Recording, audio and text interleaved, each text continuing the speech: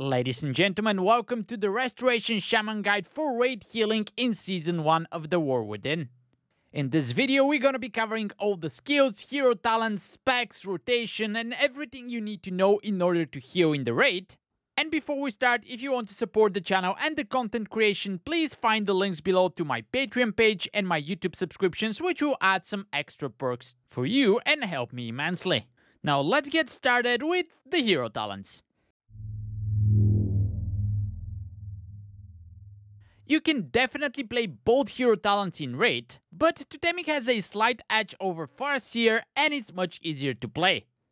I have a separate video going into detail why one is better than the other, feel free to watch that, but in Raid the Farseer Chaotic Healing is indeed inferior to the automatic cast of Chain Heal by your Totemic spec, so long story short, if you want you can make Farseer work, but in this guide we'll be just focusing on the Totemic. The core of the main spells that you are going to be casting in the raid is pretty simple, there's only two of them. The first one is called Riptide. Extremely efficient instant heal that leaves a hot on the target. It has a very short cooldown and you're going to have two stacks of it. And even more so, once you cast it, you get stacks of Tidal Waves which buff the next spell that you're gonna be casting. In the raid, there's only one option for that and it's called Chain Heal. This thing heals for a lot, it's buffed by some of your other talents, but of course it also costs a lot of mana. We're going to have a whole separate section talking about mana management as this is one of the main issues that Restoration Shaman has in the raid. But for now let's just mention the tier set bonus that you get this season, which buffs the effectiveness of Tidal Wave significantly and it makes the affected spells cost less mana. And that pretty much closes your main rotation. You want to be casting a Riptide, which gives you 2 stacks of Tidal Waves, which then you consume with Chain Heals, then you cast another Riptide to get 2 more stacks of Tidal Waves, and then 2 more Chain Heals, and so on. Of course, there are exceptions, and there's other skills that you want to squeeze in between. We're gonna be talking about those next, but first let's mention the Deluge talent. Your chain heals are gonna be healing for more if your target is affected by a Riptide or they're in your healing rain and that's a bit of an advanced tip, but because of this talent, you want to be targeting people with your Riptide on them or standing in your Healing Rain. And speaking about Healing Rain, As a Restoration Shaman, you have a whole bunch of buttons that you need to be pressing as soon as they're off of cooldown. The main one is called Healing Rain, but if you're playing Totemic Restoration Shaman, which you should be, this spell is actually replaced by your Surging Totem, which is instant cast, and your talents are going to reduce the cooldown to 24 seconds, which happens to be the duration, so you can have this out and healing your raid the whole time. Unfortunately, that also means that you'll probably have to run a talent called Totemic Projection, which allows you to move your active totems to a new location. 24 seconds is a lot of time, so unfortunately you probably have to find a binding for this button and actually use it. You also have to press the Surging Totem button again shortly after you drop it, as it turns into Downpour. That heals 5 targets in your healing rain, it gives them extra health, so it's definitely something that you want to take advantage of. Let's also mention the Totemic Capstone talent here, it's called Whirling Elements. It gives you 3 buffs, 2 of them you're going to automatically consume by your Chain Heal casts, but the first one basically makes your next healing wave or healing surge do double healing. So long story short, after you drop your Surging Totem, you want to throw a healing wave, let's say to your tank or somebody else that needs it, so you take advantage of this buff, but more importantly, you also be conserving a little bit of mana by casting the healing wave instead of Chain Heal. On top of the Surging Totem, you should also be casting the Earthen Wall Totem on cooldown. This one absorbs damage from each attack that everyone standing inside of its circle takes, and it's particularly efficient if you have everybody stacked and standing inside during pulsing AoE damage. You can try to time it for specific mechanics, but in raid everybody is taking some kind of damage all the time, so using it on cooldown is also a good approach. And the value that it brings is so big that you should actually use it in combination with your Totemic Recall, which will reset the cooldown and allow you to drop another Earthen Wall Totem right on top of the first one. This is a huge combo and you can reduce the cooldown of Totemic Recall down to 2 minutes, which means that every other time you can drop 2 Earthen Wall Totems on top of each other. Just try it out and you'll be surprised how much healing it actually does. Let's also mention Nature Swiftness in this section. It makes your next heal instant cast and it also makes it cost no mana, which means that you should be combining this with your most expensive chain heal every time you can. And last but not least, you should be keeping Earth Shield on yourself and on your tank at all times. It will do some healing, maybe not a lot, but it will definitely help you survive. So you can think of that as defensive. And of course, don't forget to keep the Water Shield and Earth Living weapon buffs on yourself. You don't have to recast those, but you need to use them before the start of the raid. And then once per hour. Now we're not done yet, the next important spell that you need to press on cooldown is called Unleash Life. This one is a small instacast heal, but it buffs significantly the next spell that you cast. And the obvious question is, what do you combine it with? The best answer is Healing Rain, because Healing Rain now does even more healing because of your Surging Totem. However, the cooldowns do not align that well, so your other very good option is obviously the Chain Heal. So long story short here, try to use it with your Healing Rain, if you cannot, use it with your Chain Heal, but definitely do not use it with any of the other spells that are listed in the tooltip.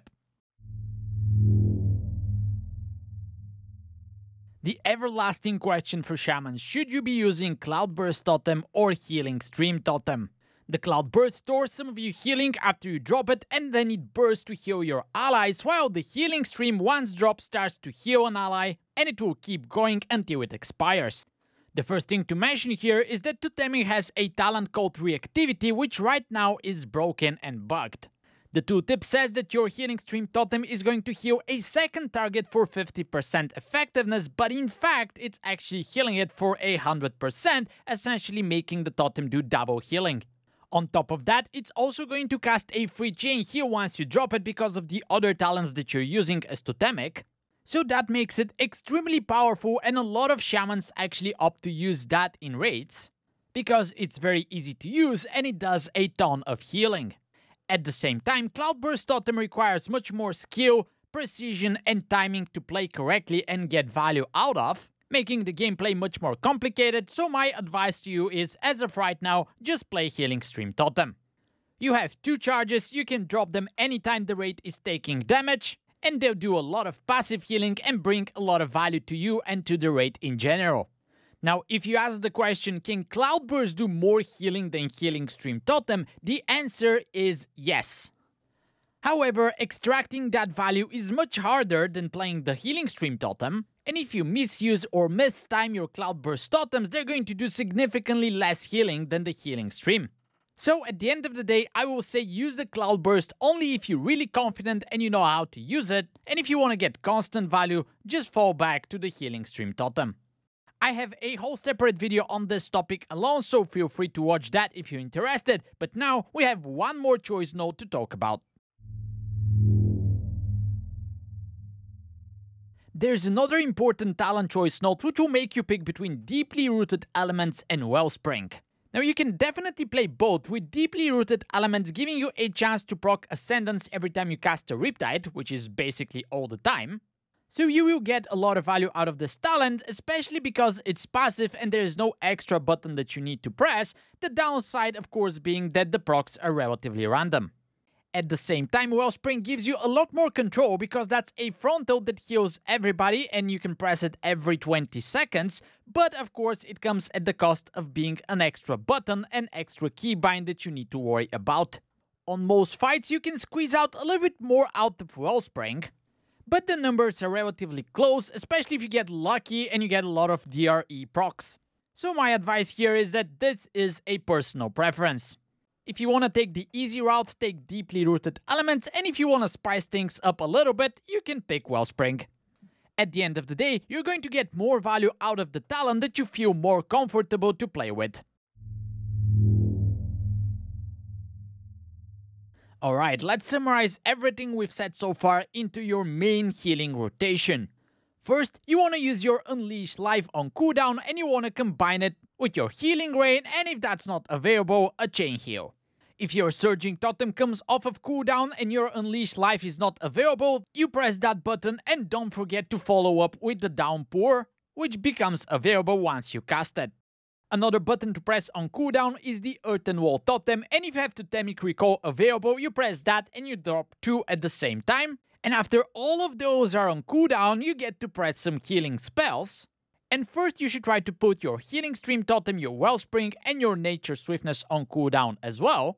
And once you do that, you revert back to casting Riptides and then consuming your Tidal Wave stacks with Chain Heals. I didn't mention this in the list, but if you have a little bit of a downtime, you can renew the Earth Shield on yourself or on your tank. And if you think that's a lot of buttons, we still need to talk about cooldowns. Your big healing buttons will probably be assigned if you play in an organized raid, and you'll be told when to press them, but if you're pugging, here are some of the big healing cooldowns that you can use. Ascendance is a burst of healing followed by 15 seconds in which you duplicate 70% of your healing. And the cooldown is reduced down to 2 minutes with some of the talents that you're using, so that's a very powerful button, but once you press it, you need to be pressing more buttons after that to follow up in order to get value out of this duplicate healing. If you do no healing, you get no value. That's not the case for Healing Tide Totem, which you drop and it starts healing for 10 seconds after that. You can reduce the cooldown to this one down to 2 minutes as well. So that's another huge contributor to your HPS overall. And then you have His Majesty the Spirit Link Totem, which now not only saves people at low health and provides damage reduction to the whole raid, but now it also does a little bit of healing due to the Sprouting Spirits talent. The price for that is 3 minute cooldown, but you can use that at least 2 times in every fight. Let's also mention here Ancestral Guidance. This is basically a very weak version of Ascendance, with a 2 minute cooldown, as it got some pretty huge nerfs recently, so it's probably not even going to get assigned as a cooldown in an organized raid, but it does provide you with 10% more healing for 10 seconds, so just don't forget to press it as it's not a lot, but it's free value on top of what you're already doing, so take advantage of it. I don't know how all of this sounds to you, but let me tell you, it's very expensive when it comes to mana management. Running low on mana is going to be your main problem, especially on some of the longer fights. So here are some tips on what you can do to handle that problem. First, make sure to use your Mana Tide Totem.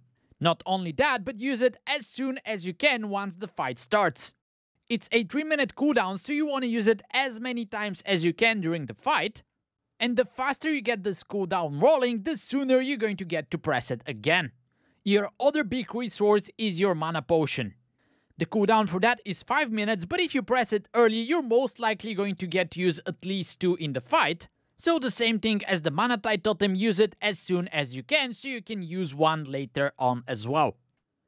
And then use all the help that you can get, ask for Innervates, ask for the Evoker Source of Magic, ask for other Mana Totems, and of course try to play smart and use tricks like casting the Healing Wave to get the value out of the Whirling Elements buff of the Surging Totem, use your Nature Swiftness, rely more on your riptides and try not to overheal too much with the chain heals.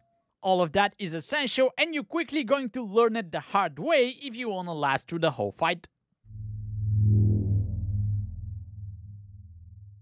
Now here's a build that encapsulates everything we've talked about so far, you can copy it from the description of this video as well.